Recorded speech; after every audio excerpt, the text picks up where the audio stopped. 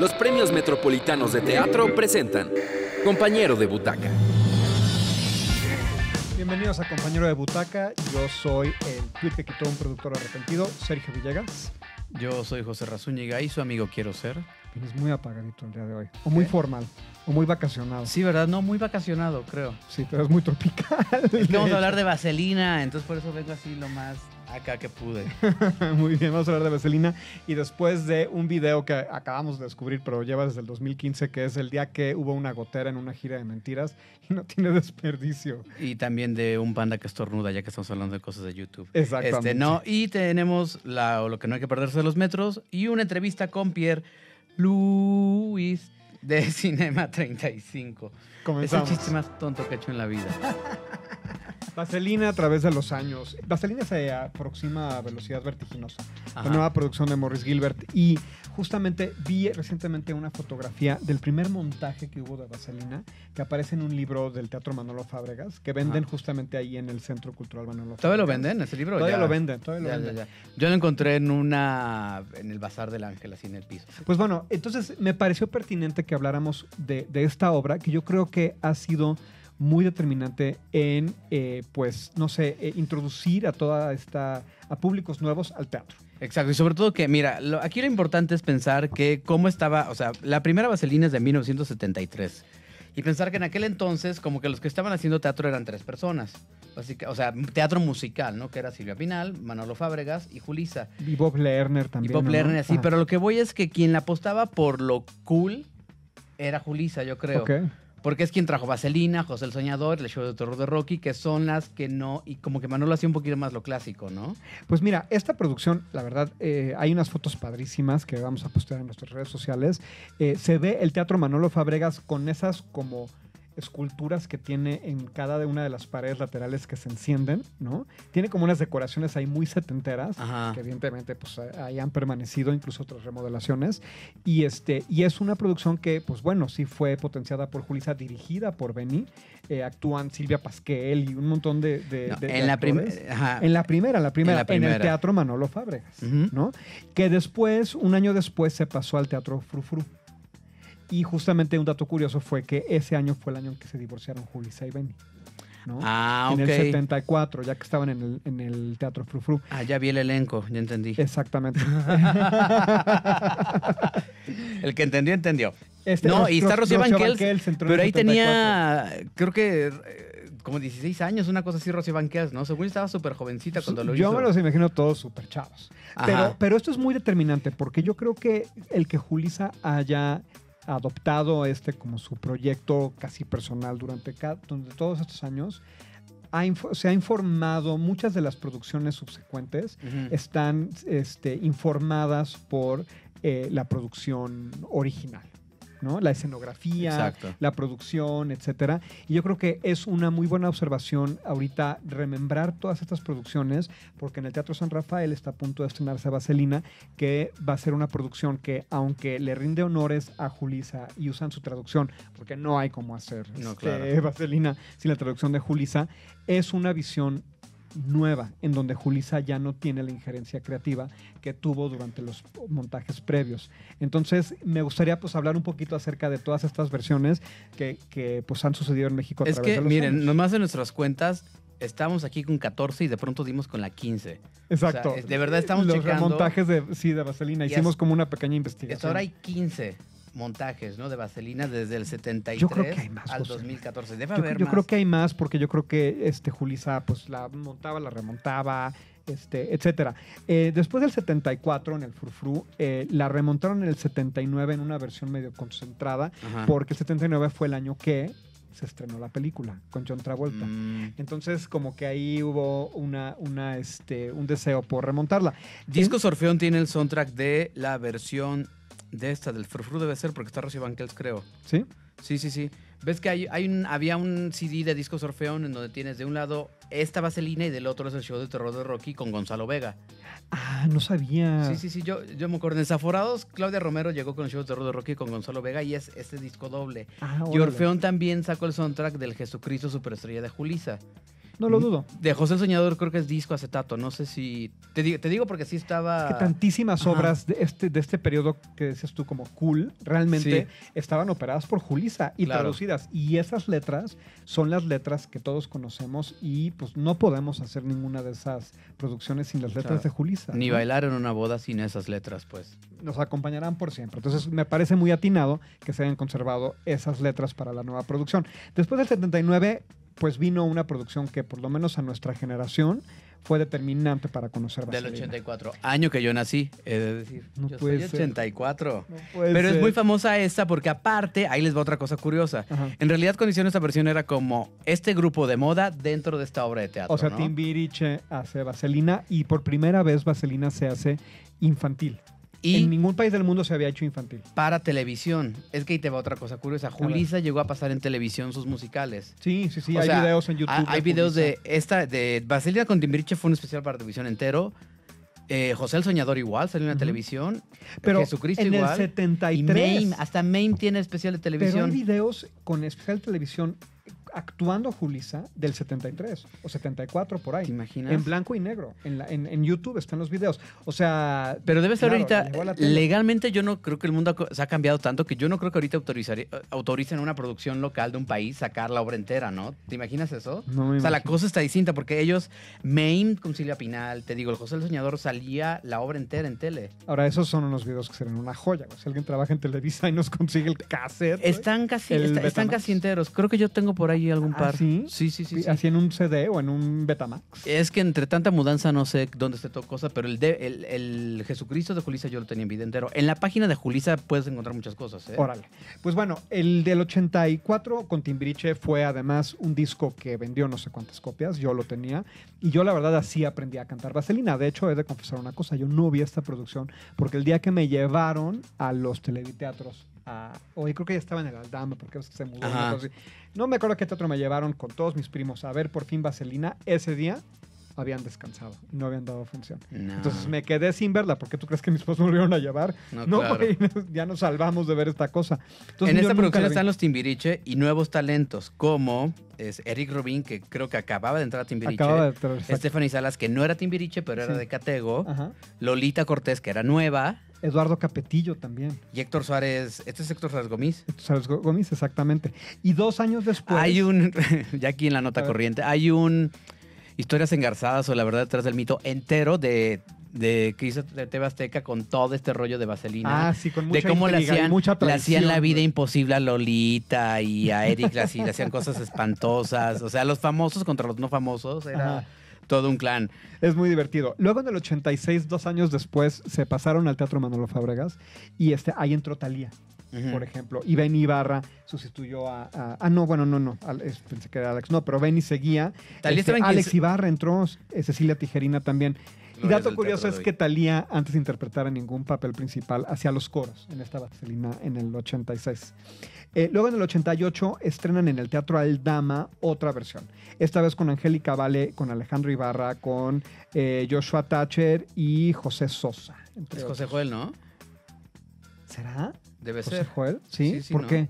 ¿Así se apellida José Sí. José? Según yo sí. Ah, mira, pues igual. Creo. De pronto estoy equivocado, pero según yo igual. tiene el mismo apellido. Angélica Vale luego la va a hacer más adelante. Y del vamos a hablar de eso. 88 al 2014, Alex Ibarra casi no soltó el papel, ¿eh? Exactamente, sí. En serio. Y siempre el papel... Como Katy Rigby en Peter Pan, que nomás no la bajas del. o Lolita arnés. Cortés en Peter Pan. O Lolita Cortés, en. Peter Pan, exactamente. Este, de hecho, este, un dato es que siempre el papel de Dani Zuko lo había interpretado alguien de la familia de Julisa, ya sea Ujú. Benny papá, Benny hijo o Alex, hasta Eleazar Gómez en el 2013. producción No, Aaron más antes, adelante. ¿no? Es que Aaron sí estrenó. Aaron, ah, ok, perfecto. Aaron en el, en el Ustedes 2006. disculpen la poca precisión, pero es que de verdad es- son los mismos. La avalancha años. de información está tremenda porque han sido muchísimas versiones, ¿no? Este, después en el 89 en el Hotel Crown Plaza y luego en el Teatro Blanquita hicieron una versión. Esta vez con, eh, con Oscar Schwebel, Ana Borras, eh, Ariadna Martínez, o sea, la, la bandita de que luego se convirtieron en 97, ¿no? Que eran la Exacto. onda vaselina en ese, en ese entonces. En el 94 estaba la de Hidalgo. ¿Esa sí la viste o no? Yo la empezaba, yo la vi en el 94 y luego en el 2001. Y luego la, la versión travesti. Esa que se llamaba Vaselina al revés, en el 2002. Ajá. ¿No? ¿Qué tal estuvo eso? Rara, obviamente, no o sea, o sea, porque yo vi la del 2001, Ajá. pero como que de pronto un día anunciaron que estaba Alex Ibarra, Bárbara Mori, que, que creo que eran novios en aquella época, alguna cosa así. Ajá. este, invirtieron papeles, los hombres hacían mujeres y las mujeres hacían hombres. Pero como que nosotros llegamos al teatro a verla otra vez porque estaba padre y de pronto era la versión draga. Entonces, este, pero no en draga, o sea, no sé cómo explicarlo. Como raro. Es como, como ahora mentiras que ya así lo hacen, así la versión neón, la versión travesti, la versión... Como que un día de broma decidieron salir con los papeles invertidos y luego les pareció buena idea hacer una temporada. Ojalá alguien nos cuente quién tomó esa decisión. Bueno, justo en el 2006, eh, 2005, de hecho, Julisa anuncia en el periódico que Vaselina vuelve, como otras tantas veces, pero esta vez iban a hacer una Vaselina rock and roll, en donde los personajes, ahora si antes lo hacían niños, ahora lo iban a hacer viejos, ¿no? O sea, Pero- de la edad de quién, porque también, o sea, Depende de quién. Y justamente nunca se concretó, y más bien lo que sucedió fue que eh, acabaron haciendo este, Vaselina 2006 con Quiros en el Teatro Pedregal. Luego tú, antes de comenzar el programa, encontraste una publicidad del 2007. Lo que pasa es que Alex Ibarra subió a su Instagram eh, una foto de un póster, que es Sí. una producción que no teníamos aquí en el mapa. ¿Quién era tú? Estaba... Estaba Angélica Vale, Jano, Hiromi, Rafa Massa, Ajá. y la, y la fechamos en el 2007 en el Teatro Aldama. según nosotros. Y aparece Go Producciones como, como Y ya como. Go Producciones. Y ya como Go Producciones, exactamente. Entonces tiene que haber ahí al- al- algo que ver. Sí, pero de Rafa Massa a Angélica Vale sí hay como un abismo de diferencia de edad un poquito... Siempre en todas las Siempre. críticas No, que la última- encontramos la última es decían la más edades heterogéneas, decían las O sea, porque ya la de 2014, que va de Jerry Velázquez pasando por Oscar Schwebel y Dan Castillo en el mismo elenco, es Roberto Carlo, o sea, está como cañón. Y, y esa tiene una historia medio, medio accidentada. Que porque empieza en el, en el en el Nextel. 2013, porque, bueno, según lo que yo entendí, porque formé parte brevemente de, de este proyecto, Ah, sí, a ver, cuenta. porque fíjate que cuenta la leyenda que Julisa se asocia con Guillermo Vigers y Juan Torres para hacer Vaselina. En ese momento, Juan Torres y Guillermo Vigers estaban saliendo de hacer una obra muy exitosa que se llamaba Yo soy mi propia esposa. Entonces ellos compran los derechos a nombre de Julisa o con Julisa o una cosa así. No la montan, pero el que levanta la mano es Alejandro Go y dice, ok, yo la quiero montar. Y Alejandro Go arranca a Go Producciones a diseñar una nueva vaselina para el Teatro Aldama. Habla con posibles este, candidatos para el elenco, etcétera. Pero de repente Julissa dice, oye, no, espérate, estos derechos pues, son de este Vigers Torres, pero Ajá. también son míos y yo quiero ver y quiero que dirija a Benny, mi ex marido, porque pues, él la dirige no sé qué, pero yo quiero tener el control creativo. Y de hecho tuve una junta con Julissa donde le presentamos los diseños que ya teníamos y dijo, no, yo me estoy imaginando otra cosa. Y ahí es donde lo que te decía que yo creo que Julissa, al haberla hecho tantas veces, ya la información que ella tiene de cómo se hace vaselina, pues es una que ella ha sabido hacer durante todos estos años, pero para hacer algo realmente nuevo, creo que tienes que hacer lo que están haciendo ahora, que es un borrón y cuenta nueva, no porque la idea anterior estaba mal, sino Claro. porque para hacer algo nuevo tienes que borrar el disco duro, y yo no podría borrar mi disco duro Ajá. como lo han hecho en, en los remontajes que se han suscitado en todo el mundo. ¿no? Claro. O sea, y que ha habido cosas padrísimas, incluida la versión que hizo la televisora Fox de Es que en vivo, hicieron ¿no? Grease Live. No, no reality, sino una versión Ah, no, del que- musical en vivo, transmitida en directo, con todas las cámaras y cantando en vivo. Yo creo que es un gran producto y yo y le auguro mucho éxito, porque Ajá. se ve que están echando la casa por la ventana, se ve que tienen un elenco nuevo y se ve que no están pues ahora sí que están rindiendo eh, honor a quien honor merece, que es Julisa, pero están haciendo una versión nueva. Muy Yo creo que eso es muy importante y vale la pena Entonces, para Julissa va a ser como la reina de Inglaterra, que es la reina pero no gobierna. eh, fue- eh, ándale, una Ándale. cosa así. Pero se merece mucho honor y sale Le informamos, señora, lo que vamos a hacer. Ahora, eso es algo que tú y yo asumimos, porque al no estar adentro no sabemos si Julissa está teniendo injerencia creativa, pero según lo que yo sé, no. Escenográficamente creo que Nacho Retes hizo la primera del, del Manolo Fabregas y después David Antón hizo la de Timbiriche y, y- y siempre han usado como esta técnica de fotográfica, de fotografías gigantes, que se usó mucho en Hair. ¿No? En, Claro. en, este, en Estados Unidos que comenzó esa moda de poner fotografías gigantes. En fin, eh, es un producto que, aunque es un producto gringo, ha tenido un impacto tal en el imaginario mexicano que yo creo que ya forma parte de... Y además, como Julisa la tropicalizó a la prepa nacional, ¿no? Eh, yo creo que Pero eso es muy siempre tendrá local una y aparte tiene y el como el contexto, o sea, si un día se meten a leer como el contexto social político de Greece, se vuelve interesante ver el por qué es como muy revolucionaria para, para su época y todo lo demás. Está, está padre, pues. Para su época, que son los años 70, porque sucede en los 50, pero es un producto de los 70. No, claro, y el embarazo no planeado, adolescente y esas cosas siempre son fuertes, ¿no? Esa- Y sobre todo cuando lo hacen niños, ¿verdad? Que bueno, ahí está Ya, bueno, suavizado ya- el sí, asunto, ahí claro. está matizado. En fin, esperamos las Ah, con ¿Se, ansias se embarazaban los personajes en esa versión de niños? ¿no? Habría ¿verdad? que preguntarle, no, no, no, se embarazaban. Eh, Mariana Garza hacía el personaje de Rizzo, que en español se llamaba Sonia. Mm. Y creo que no, creo que no tenía esa problemática. Este, un video que eh, justamente encontramos en redes sociales que publicamos hace poquito fue un video de mentiras que nos encontramos eh, de una gira que pude confirmar con Paola Gómez que sucedió en Villahermosa.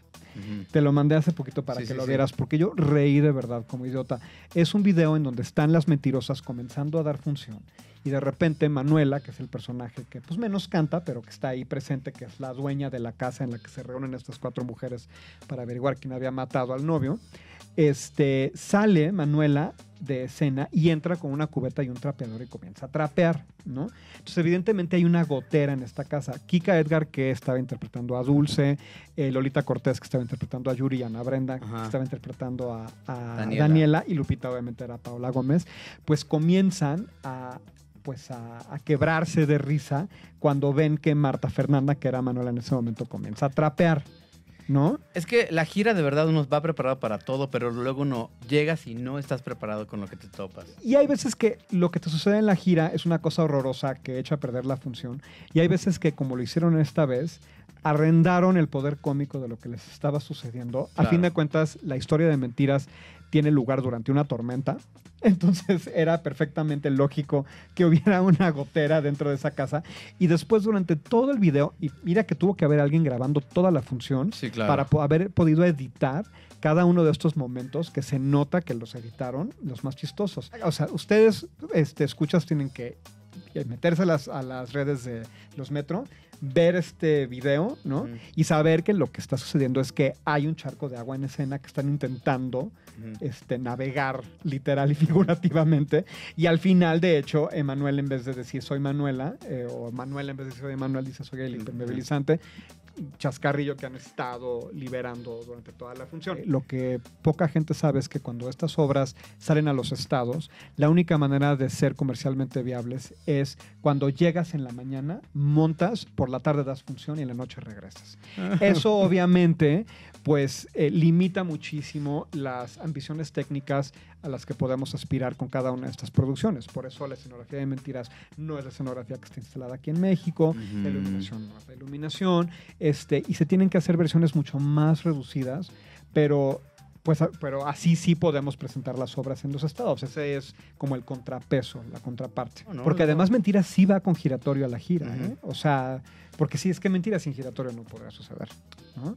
Pues sí. En fin, yo reí como chamaco en- eh, con este video. Eh, José Razúñiga no entendió nada. Ustedes No, perdón, es que yo de repente estaba diciendo las piernas de estas de Villegas, que ya le iba a hablar así como yo. Es muy indignado porque Está la descuidada, de pero ya vi que era la gira. Oye, porque además se repuso todo eso porque el tráiler se lo robaron la primera vez que Mentiras salió de gira, ¿te acuerdas? Sí, sí, que sí, de- sí. apareció por ahí en Teotihuacán vacío el tráiler, ya había... En algún lugar hay una quinceañera vestida de rosas quinceañera. fosforescentes. Así dan con cosas. Alguien hace poco subió también, digo, no viene al caso, pero Sí. en un mercado de pulgas en España dieron con todas las chamarras, todavía no me puedo levantar. ¿La mexicana o la española? La española. Porque aquí en México también dieron con las chamarras dieron? porque también robaron la bodega de hoy no me puedo levantar. Bueno, Qué barbaridad. ahora sí, la cartelera de los Metro, lo que no hay que perderse esta semana. Ah, sí. En el Teatro en el Parque, que hemos hablado, está Macbeth, que aunque en los Metro participó cuando estaba en el Teatro Milán, es una nueva versión en el teatro que montaron ahí en la esplanada de el Museo Rufino Tamayo. Me han dicho, esta versión no tiene agua, que los actores primero me han dicho, No odiaban tiene el agua, agua. abajo, pero tiene agua que te cae de arriba, No, ¿ok? Exacto, los primeros dos actores odiaban dar función con agua y ya me chismearon que ahora extrañan el agua. Pero me están contando que las están viviendo eso de una forma increíble. Así que cuando las hermanas del destino convocan a los elementos, llueve, que cuando están diciendo que el sol se pone, se está poniendo el sol. O sea, de verdad, si quieren vivir una experiencia esotérica teatral, vayan a ver esta, esta versión, ¿eh? Sábados a las 7 y domingos a las 6 en el Teatro en el Parque. Boletos en Ticketmaster. Después otra obra. Los que sobran en el Foro Shakespeare los sábados a las 5 de la tarde de Adrián Vázquez. Es una obra muy padre de, para chavos, de chavos. Bueno, con quien sea, pues. Pero, y fuerte zona, ¿eh? Aguas. ¿Ah, sí? Sí, sí, sí. Bueno, es Adrián Vázquez, que vamos a hacer. Y Emil en su Globo Rojo en el Teatro Julio Castillo. Que ya no está en el Shola. Comenzó en el Shola y ahora está en el Julio Castillo. Es que aquí la cosa va, no, en el va para largo, ¿no? Exacto. Sábados y domingos a las 12 y media. Este. Eh, eh, que- eh, también hemos entrevistado a mucha gente de esta obra, ¿no? Eh, sí, entrevistamos a la directora. Es una producción de este, 1111 Producciones, de un éxito de hace Claro. mucho tiempo. que Ah, es Jimena también estuvo aquí, con razón tengo, siento que hablé de Sí, eso. sí, hace sí, la productora, Claro. Jimena Saltiel. Y es una obra que triunfó mucho en este teatro, que Ujú. la quisieron reponer en el Shola. Y les fue bien, pero dijeron, "Ah, como que no está jalando. Y en cuanto la pusieron en el Julio Castillo, en donde la escenografía, pues, se aprecia como en su forma original, porque no es el espacio original del Julio Castillo, se dejó ir la gente, están llenando, es un teatro grandísimo, entonces compren sus boletos con anticipación. Es una cosa muy interesante. Es la historia de una niña que hace amistad con un globo rojo y recorren la Ciudad de México durante una tarde. Y es una cosa muy interesante. Es una. Es muy sencilla, la música es de Iker Sí, Madrid, sí, sí. está muy bonita. Y este. Y el protagonista es un globo rojo también, a la par de Emilia, ¿no? Pero es una cosa bien interesante. O sea, es- Sí. es, como padre ver que una cosa así funcione y genere. Y ver las obras para el teatro en el que fueron diseñadas, de verdad, hay una diferencia. Hace la ¿eh? diferencia. Completamente. Completamente hace la diferencia. Vayan a ver al Julio Castillo. Eh, y pues bueno, nos quedamos con una entrevista con Pierre Luis que grabamos la semana pasada. Encantador y súper talentoso. Ya tú ya viste Cinema 35, ¿no? Ah, no, claro, yo fui a verlo antes de, de recibirlo. Exacto, sí. Entonces también hace toda la diferencia cuando tú y yo entrevistamos a alguien habiendo visto la obra, este, que cuando no la hemos visto porque no ha estrenado. Vean la entrevista con Pierre Luis, está bien interesante. Muy bien, pues nos vemos la próxima semana. Ya empezamos, ya habíamos empezado la entrevista, estaba súper bueno el chisme. Está Pierre Luis con nosotros de la obra Cinema 35. Hola Pierre. Hola, hola.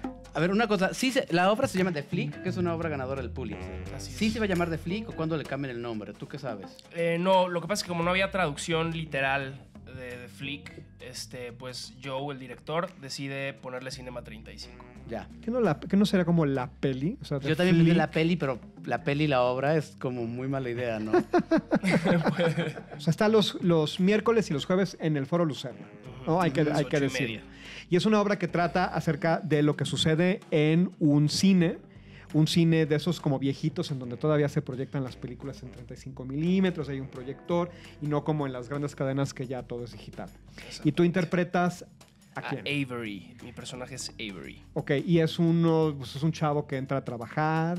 Es un chavo de 21 años que llega a este cine eh, por recomendación de su psicólogo, ya que él hace año y medio se intentó suicidar eh, porque su mamá lo dejó a él y a su papá. No, bueno, hablando de spoiler alerts, y José Nah, estaba bueno. preocupado. No, por ya, el ya, ya, ya, no importa, O no sea, importa. ¿Era este bien o era el otro? la- era bien la atmósfera. Es, lo que menos importa. Los padres Sí. llegar al cómo, la verdad. Está bien, está bien. Exacto. Entonces, pues él eh, es, un, es un chavo que está muy reprimido, que es muy inseguro y que la única forma donde ha encontrado seguridad es eh, viendo películas, ¿no? Y ha sido.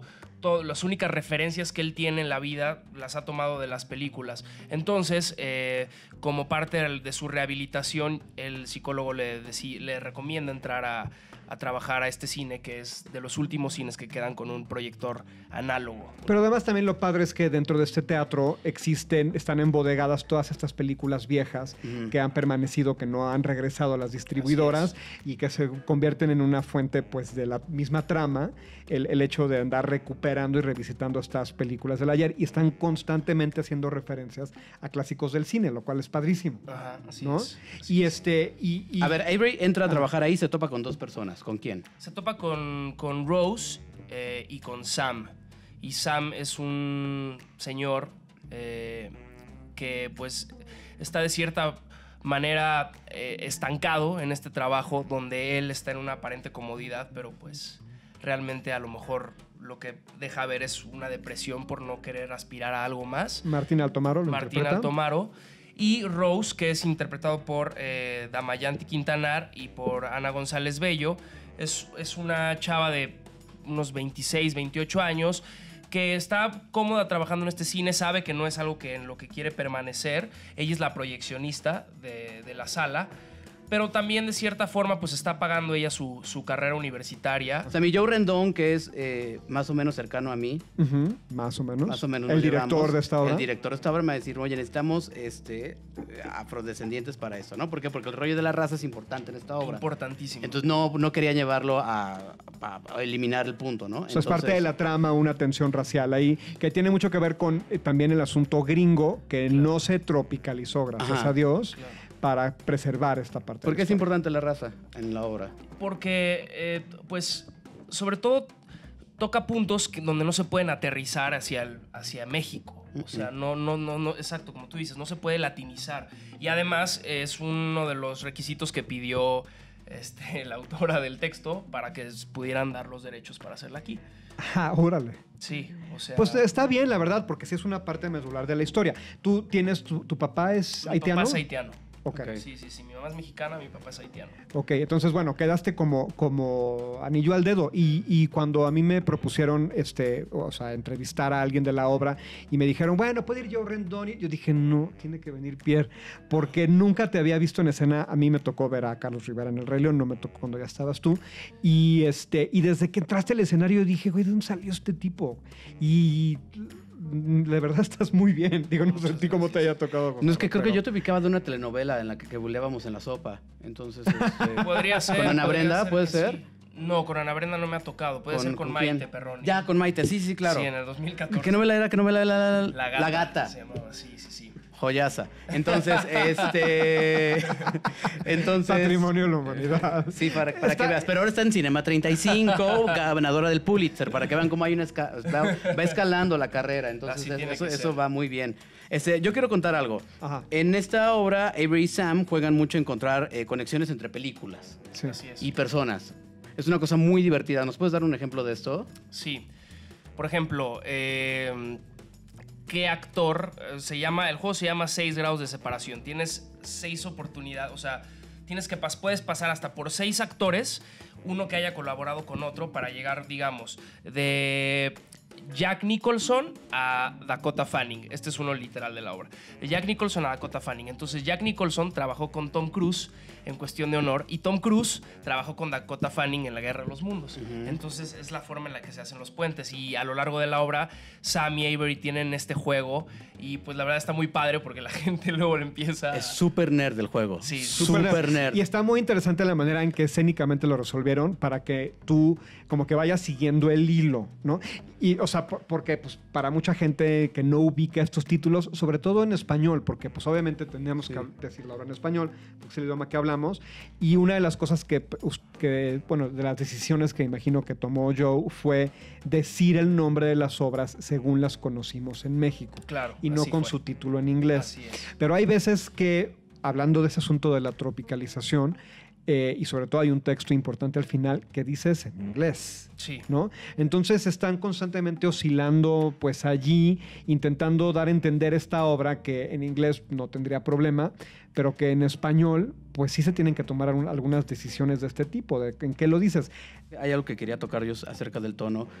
Como que los personajes cada vez que dan una gran, revelación sobre su vida, en el caso de Avery el suicidio o los demás que, que hacen pequeñas confesiones, hay una forma de abordarlo un poco casual, como dándole importancia, que sé que es una decisión consciente del director, ¿no? ¿Nos Sí. quieres contar tantito de eso? Totalmente. Pues, de hecho, en- obviamente el, el- el texto original también dura, eh, la puesta original dura tres horas. Entonces, este, esto también Joe lo quiso acortar.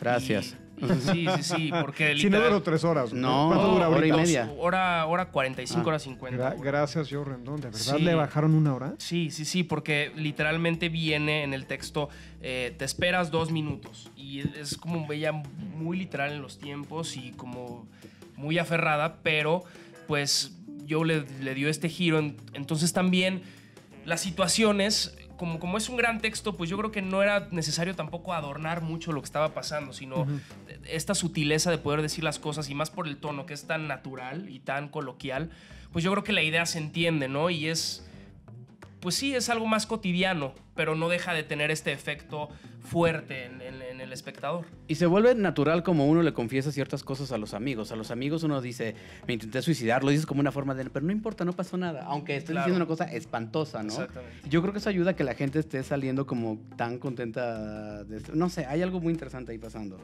La, la obra de verdad está súper divertida. Yo la recomendaría ampliamente. Está en el Foro Lucerna los miércoles y los jueves. ¿Hasta qué día dan función? Eh, hasta ahorita estamos, eh, la temporada está hasta el 31 de mayo.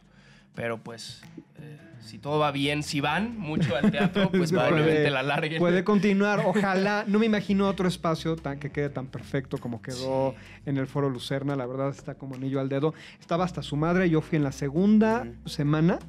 Y, y ya me pudieron conseguir un boleto nada más. Muy bien. Este, pues estaba lleno, ¿no? No sé cómo les está yendo ahorita Sí, de ahorita la verdad es que está muy, muy, muy bien. Felicidades, está, la verdad, está súper padre. Me encantaría ver a Ana González, que, Sí, que me tocó. Porque además algo padrísimo es que ellas no ensayaron juntas, nunca se vieron.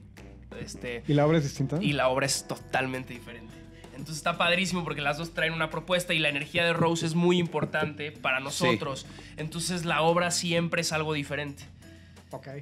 Entonces, ¿Tus redes sociales, Pierre? ok, ¿Cuáles son? es arroba Pierre Louis, L-O-U-I-S 88. Eso es para Instagram y para Facebook. Muy bien. Twitter está bloqueado, ¿no? me lo hackearon. No, Sí. no mames, de Qué verdad. barbaridad. Muy bien, pues muchas gracias por venir a compañero de Butaca. No olviden suscribirse a las redes de los Metro, en el Facebook, en YouTube, en Spotify, en Twitter, que el nuestro no está bloqueado hasta donde tengo noticia. Y nos vemos la próxima semana en otro compañero de Butaca. Bye. Esto ha sido una producción de los Premios Metropolitanos de Teatro. Síguenos en nuestras redes sociales como Los Metro MX.